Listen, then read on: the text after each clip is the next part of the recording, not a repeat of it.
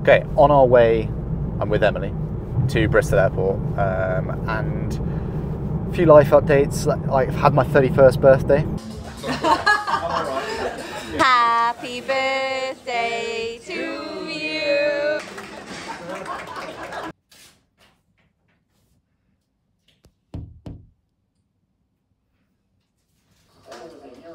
Camera now. Oh yeah. Happy birthday to me. That was tough. Oh, my legs hurt this week. A lot. That's my parents. They're still out with No, they're Grandad. It's been two hours. Amazing. going to say you should, perhaps one of you should have gone with them because they probably don't know what to say about Thought I'd just go over the last couple of months of training, and yeah, 31st birthday. Obviously, been to Portugal as you've seen in some previous videos, and Lanzarote. So I've done more training camps this year than I've ever done before. I feel pretty prepared. Feel very fit. Feeling better?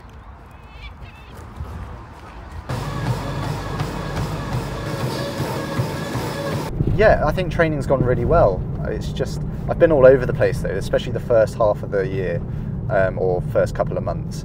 I was back and forth from Guernsey. I was very lucky to be going skiing as well in Zermatt, um, but then back to Guernsey, um, out to Portugal, back to Guernsey, into Cardiff, um, out to Lanzarote, back to Cardiff. I think I might have even gone back to Guernsey again at some point for different bits and pieces, as you've seen on the videos, like whether it be awards or Christmas or whatever it is. But yeah, I was getting a little bit exhausted and tired, and I think that I just needed to manage myself a little bit better in that respect. But got through it, carried on training pretty consistently.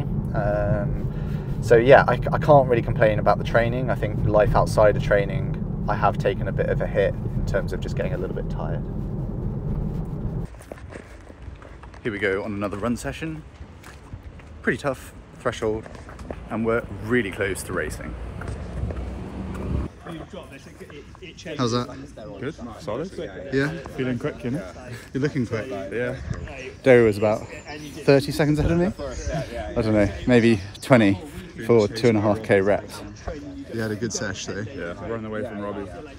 Scary man. Yeah, yeah. no, true. especially in carbon. Now you've done 17. Zero carbon. Well, What are you running, like 320 per k on like a tough course? Last one was 315. 315.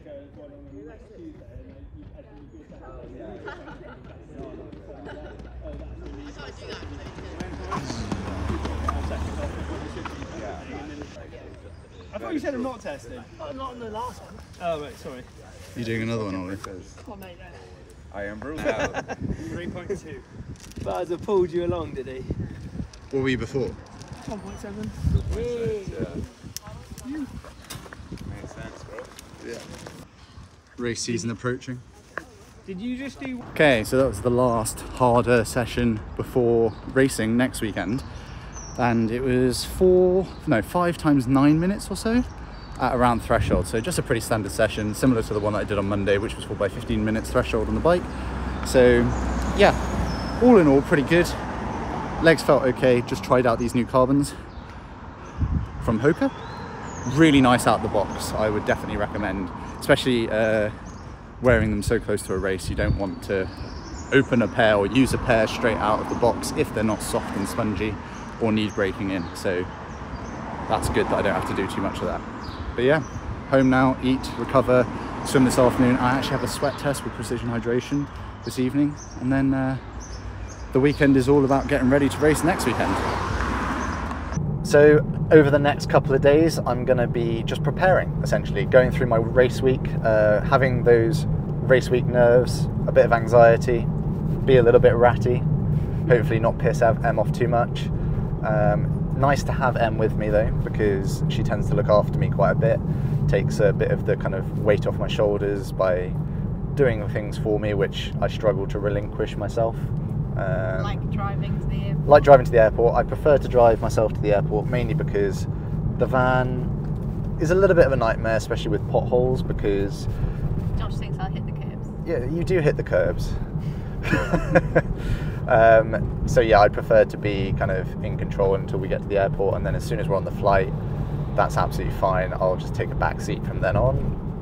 obviously unpack, get my bike sorted, make sure everything's in good working order, and then yeah, just roll through the a few training days in the lead up to the race.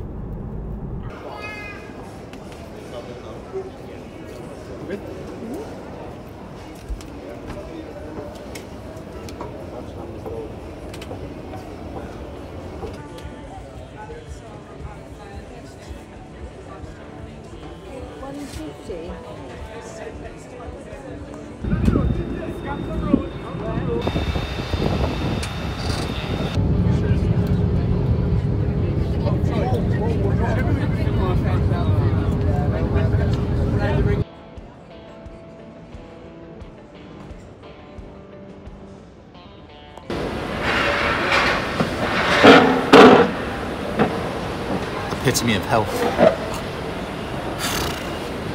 What's happened? Well, first of all, our flight was delayed and we were sat behind someone that was chundering everywhere. Turns out they'd taken some snus, of all things. Um, anyway, we were late. I turned up to get the car, and because we were late, our booking had been cancelled. So I had to rebook, and had to rebook like in advance, so an hour or two in advance. So we've come to get a Burger King because it's the only thing that's in the airport. Wow. And yeah, I've just had a faff with the Airbnb as well because it turns out I hadn't properly checked in and they closed at five and our delay meant that basically they'd left for work. So anyway, all sorted now ish, but just gonna have Burger King, relax and then get Emilie to drive us to, to the uh, Airbnb in Valencia.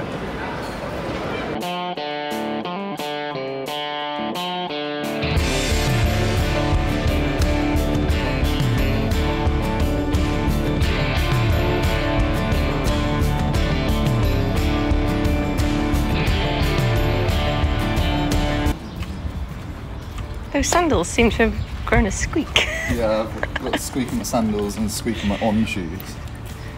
So you're gonna hear when I'm coming like that uh, crocodile in um, Peter Pan. Just off for a swim uh, Thursday morning. Just a bit of a shakeout swim.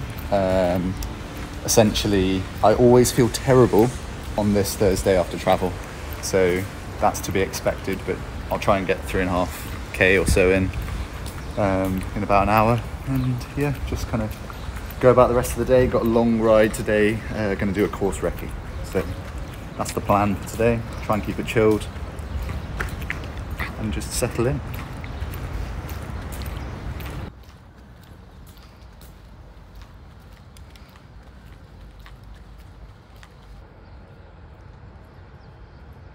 Empty pool.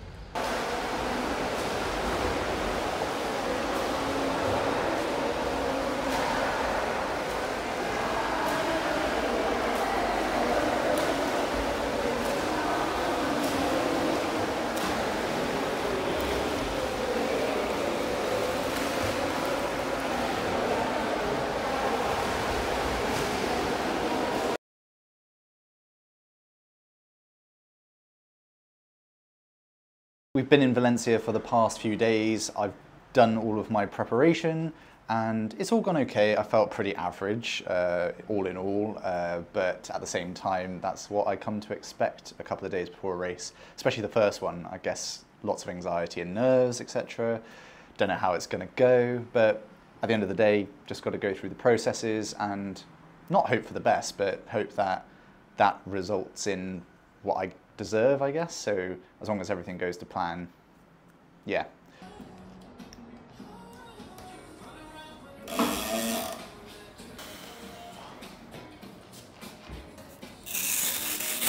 Why are you taking them off? I'm just re- uh, just tightening them, making sure they're tight enough. If anyone. If anyone wants to make, build, lend, give me a front end, I would be massively grateful because they are really expensive.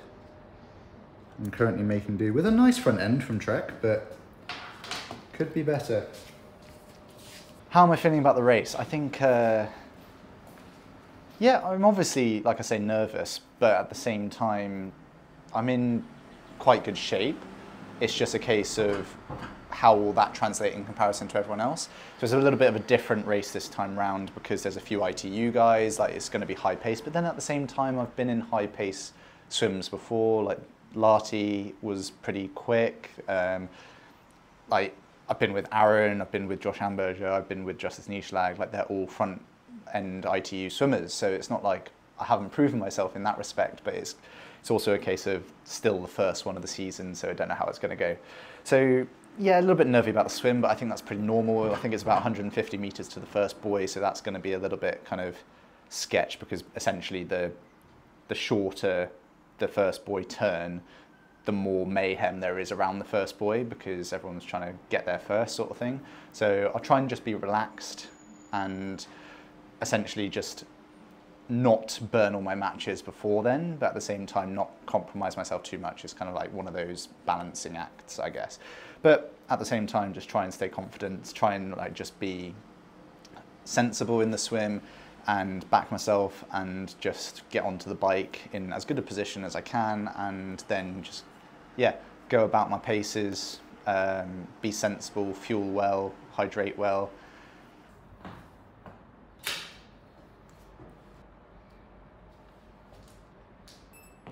Officially filming other. you know, actually filming, not uh, pretending filming. I thought I was.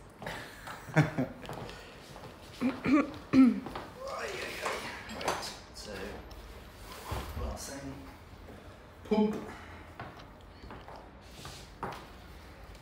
Okay. I'm ready. Shall we be on? Yep.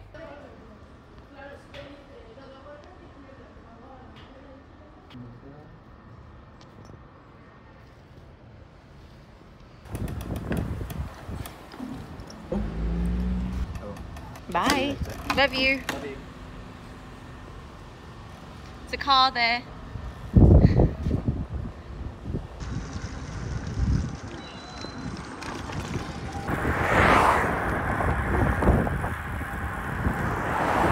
And then yeah, I think it will be what it will be on the run. The course in, on the bike is pretty uh, pretty solid. I think it's very flat, but a little bit kind of scatty to begin with.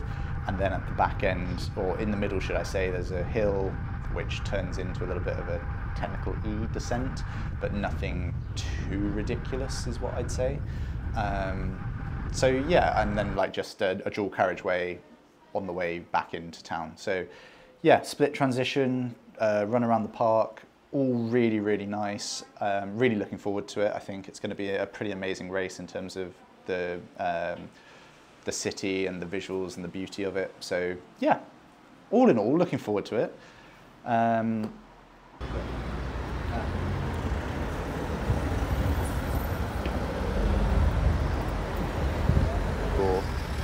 you've got your um, phone and maps and stuff? So you know what you're doing. Yeah. Bye. Last swim, last prep swim. One of those where you just have to trudge through it. But yeah, last one, it's about 11 o'clock, is it? Just before 11 on Friday. Gonna get it done, register, and then try and chill out for the rest of the day. Go for a meal with Ollie, Georgia, Ollie's dad, and maybe Fred if he's coming, hopefully. But Yeah.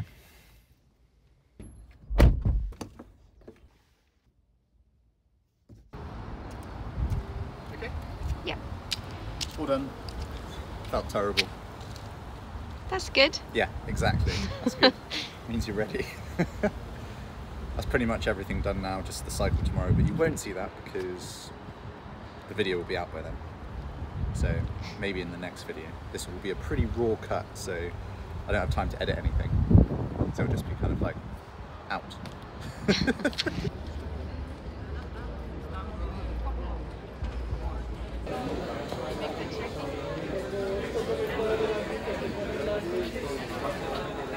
What do you reckon?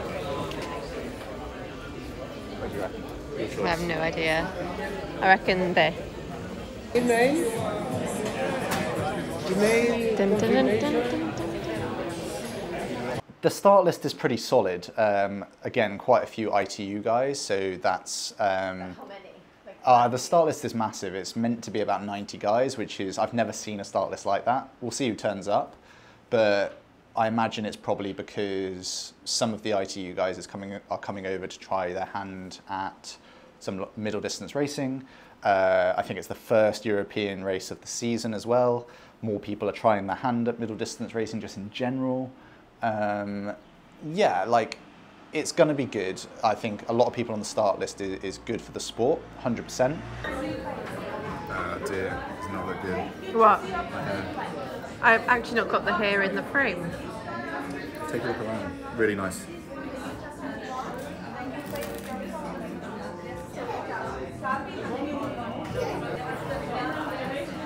Oh, you're better than me. Comms. That doesn't count. Marketing,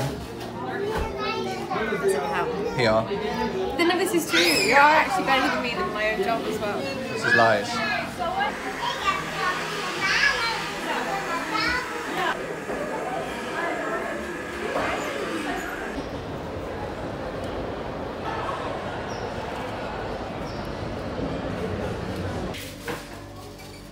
Unboxing. Unbox pastries with Josh. Well, it's not a bakery, is it? It's a patisserie. Yeah. It's not where we are currently.